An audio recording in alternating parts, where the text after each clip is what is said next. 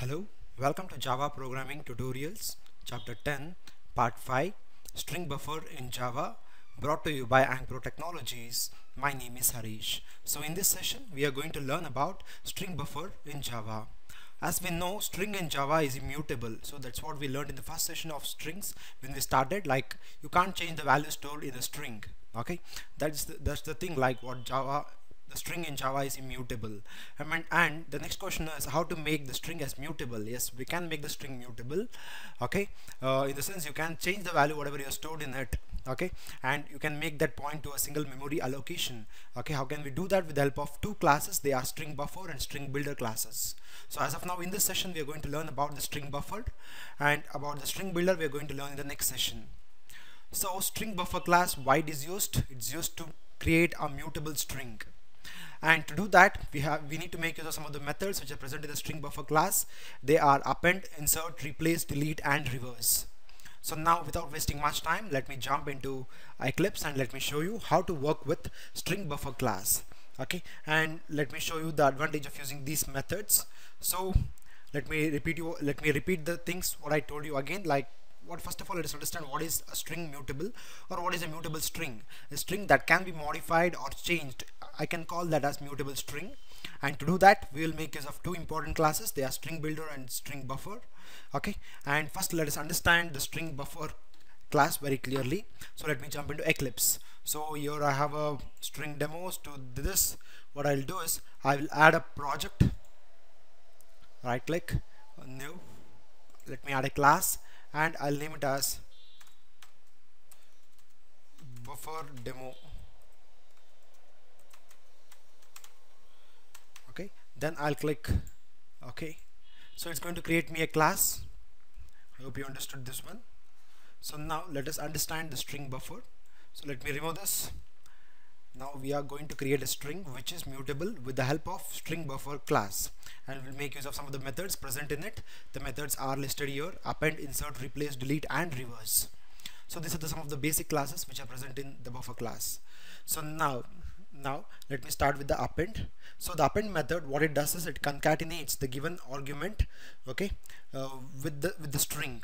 So let me show you how to do that. First let me create a string buffer string buffer sp is equal to new.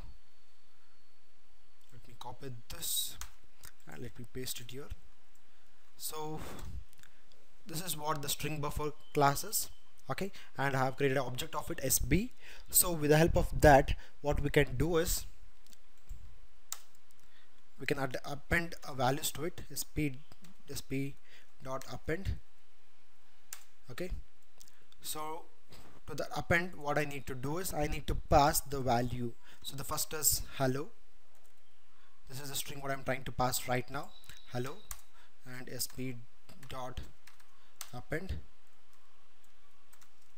It's Sam. Okay. Now what I'll do is I'll make use of system dot out dot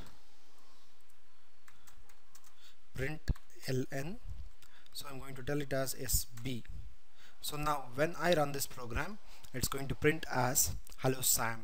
So this is what I call the string as mutable. Okay? Now this is called the string mutable. So what we are trying to do is we are making use of the string builder class to make the string as mutable. Okay? I hope you understood this append method.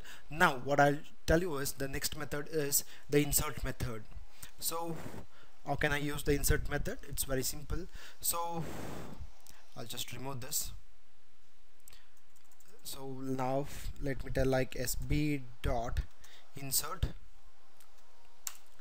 So insert I need to tell like at what index I have to insert at the first place.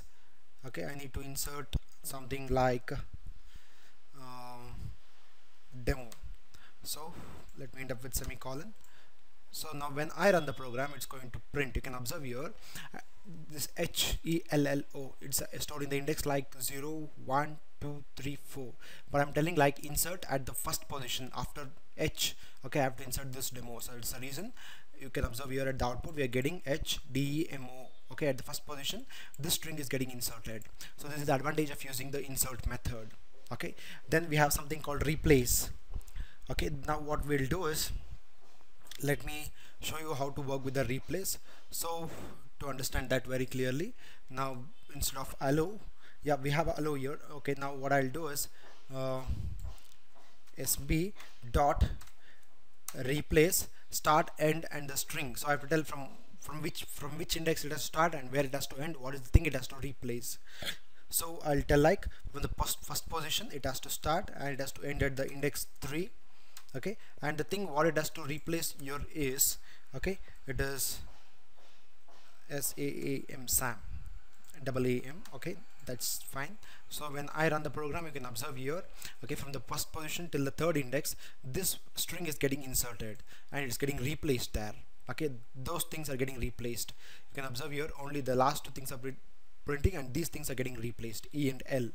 So this is the advantage of using the replace method and we have something called delete method. So now what I'll do is I'll show you how to work with the delete.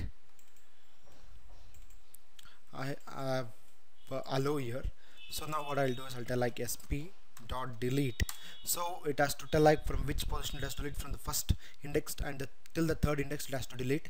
So when I run that oh, cancel. Okay after end with semicolon.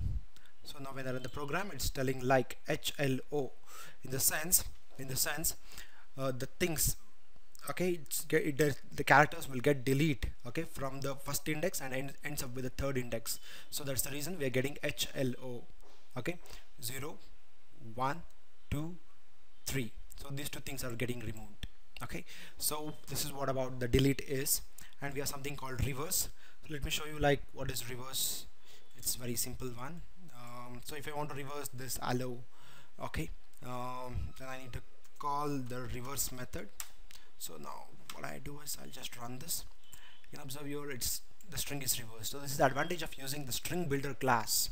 The basic advantage is if you want to make your string mutable then we have to go with the string buffer class.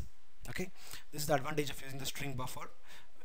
The main advantage is if you want to make it a mutable immutable then mutable then we have to make use of string buffer class I hope you understood this very in a very simple manner okay? And if you want to know like what exactly string in Java is immutable please refer to my first video of the strings where you'll clearly understand like what is immutable of string in Java okay? I hope you understood this. So finally thank you for listening. Have a great day. Please subscribe to our YouTube channel Ankpro Training. You can also like our Facebook page visiting this URL you can also follow us on Twitter for further reference refer our website we are on LinkedIn too. Last but not the least please don't forget to give the feedback. Thank you. Have a great day